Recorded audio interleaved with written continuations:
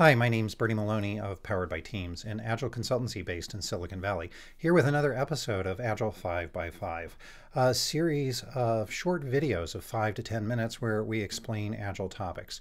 Today's topic is going to be the Scrum team and the accountabilities, and I'm going to explain how the accountabilities in a Scrum team interact in order to deliver increments of value every sprint.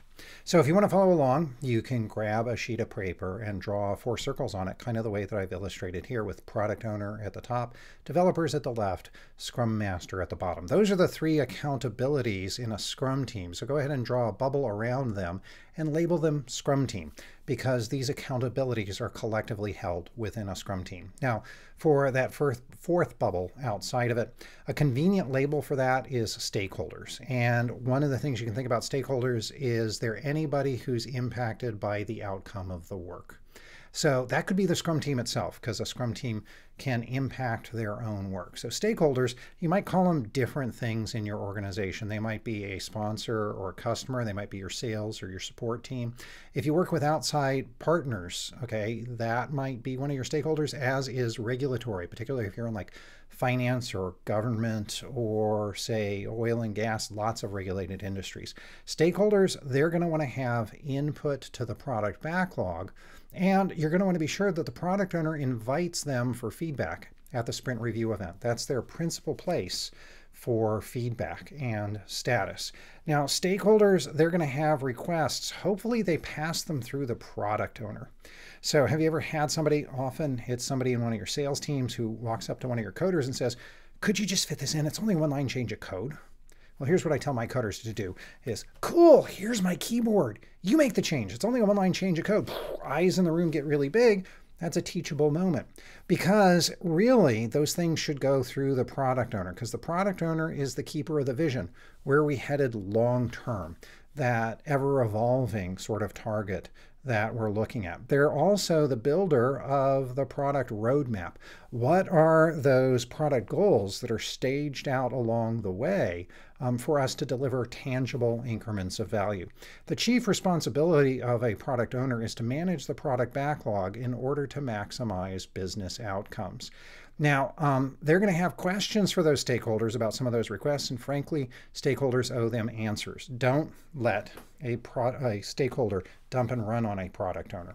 Um, so, because those product owners, in trying to balance those business outcomes, they're going to pass things on to the team, and um, they're going to need to have some attributes. So they're going to need to be available not just to stakeholders, they're also going to need to be available to the team because the team's going to have questions and the product owner owes them answers.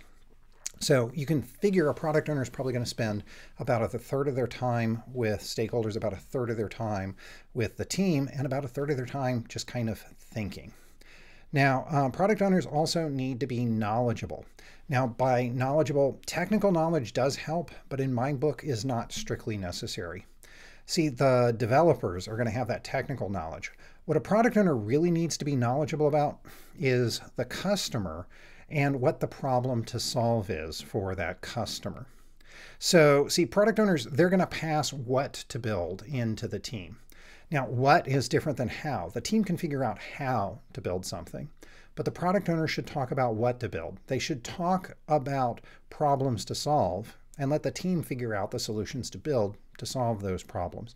They should talk about outcomes rather than about outputs. They should really think like a consumer of the work more than like a producer of the work. Something that's going to help in doing that is if they start articulating why these things are important. Now, Simon Sinek, in his video Start With Why, does some really compelling stuff about the power of why, and he uses some marketing examples and the triune model of the brain to kind of explain it. So let me do this with you. You can follow along with me if you like. So um, hold up a wrist like this. Eh, okay, we're going to do it like this because it's a little bit better on camera. Touch the back of your wrist as you say out loud to yourself, lizard brain, lizard brain. That's the brain stem the amygdala in the human brain. That's where friend, foe, fight, flight, or freeze exists in the human brain. Okay, same fist, let it flail about as you say emotional brain, because all the emotions are in the middle brain. Go ahead and let them wig out. Okay, now take your other hand and wrap it around the outside and take it off and say thinking brain, thinking brain. This is where language, logic, and reason exists. This is where decisions get made, y'all. Okay, and Sinek likens these three areas to a why, a how, and a what. And he says, look, ordinary marketing starts with what, might get to a how, very rarely gets to a why. Powerful marketing, on the other hand, he says starts with a why, moves to a how, and then the what is almost self evident.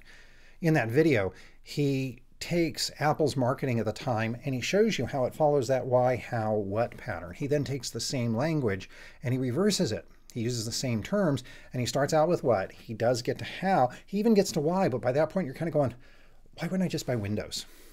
Okay, Sinek takes it a little bit further on the power of why and points out, look, Dr. King got 300,000 people on the National Mall in 1963. Right day, right time, right place, pre-internet, pre-fax, pre-cheap telephone calls. And Sinek asks, how did he do it?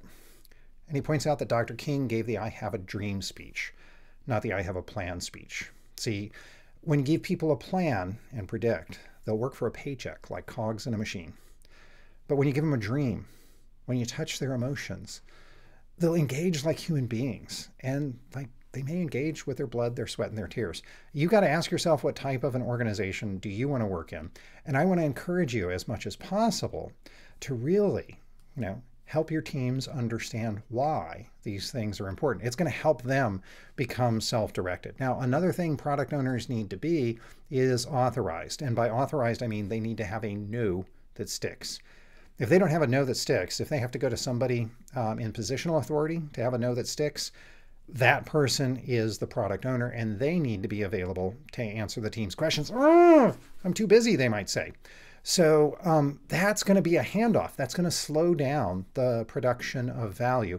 And you want to start to squeeze those out of your system because that's just slowing down your production of value. So one of the ways that I do that to kind of talk about authorization for the product owners, think of the best managers you've ever had in your career. Bring them to mind in aggregate. Did they put you in a tiny little box like this and say, this is all you get to do? Or did they give you some really clear boundaries and say, we expect you to perform within these? It's probably this. So the conversation I like to have is how can we expand those boundaries for a product owner where they have a no that sticks? Otherwise, that's going to be a handoff and it's going to slow things down. Trust us, if we come near those boundaries, we will come talk to you. Okay. So really help your product owner expand those boundaries and have a no that sticks so that they're authorized. You can kind of tell product owners need to be passionate, particularly about the problem to solve and the customer to solve it for. Because as they pass those things into the developers, the developers are the ones who are responsible for delivering a high quality product because they're responsible for meeting the definition of done, which is an intrinsic quality standard. Have we built this in such a way that we could use it? So have we followed our own quality standards? Um, developers, they're also responsible for managing the change of the product over time because they're responsible for delivering increments of value every single sprint. Okay, so that changes the product over time. Product owners definitely steer what should be produced, but it's the developers who are actually producing those increments of value. Now, there may come up things that get in the way of the production of value. There's jargon for that in Agile. They're called impediments. You may also hear them called blockers. Part of the role of a Scrum Master um, is to support the team. A lot of people like get this confused, and they think that means the team needs to, or the Scrum Master needs to tie the team's shoelaces. Don't do that. You know, think about uh, kids and toddlers. If you had kids who are no longer toddlers, would you want to tie their shoelaces? Probably not. That's what we mean by support, because anything you do for a team is one less thing they'll do for themselves. The Scrum Master's role is manifold. They're there, okay, to teach, to share knowledge with groups, to facilitate, to unlock knowledge within groups, to mentor, to share their knowledge and experience with individuals, and to coach to help unlock knowledge uh, within individuals. See, they're not the master of the team, they're the master of Scrum. They are a servant leader and they are a change agent. They're there to help optimize the flow of value end to end using Scrum. They're there to help the developers, the product owner, and the whole organization get better. Um, with Scrum Masters, think of them like the coach of a team. Do they get on the field and play? Probably not. Okay. If you think of your favorite professional sports team, your coach probably doesn't get on the field and play. That's kind of like the role of the Scrum Master. The team owner probably doesn't get on the field and play either. That's kind of like the role of a product owner. It's the developers. They're the ones who are playing the game. Now, for that coach of a team, would you want them coaching more than one team? Probably not. Okay. So that's one of the reasons why having a Scrum Master working with a team really gets them in deep and really helps build their skills. Now, there will come up things for a team that they can't remove by themselves. So notice how this impediments arrow goes from the Scrum team, not just the Scrum Master, but from the Scrum team to outside because it doesn't have to be just the Scrum Master who does this. These accountabilities are designed to work in partnership. So this kind of illustrates for you in one diagram how all of these accountabilities in a Scrum team interact in order to deliver increments of value every single sprint. If you've liked this video, please like, subscribe, and share to the Powered by Teams YouTube channel. Uh, really comment on it, share it with your friends. That does help us. Until the next video, if we can be of service, um, you've got our contact information down there in the corner. Be well, stay vibrant, and thank you.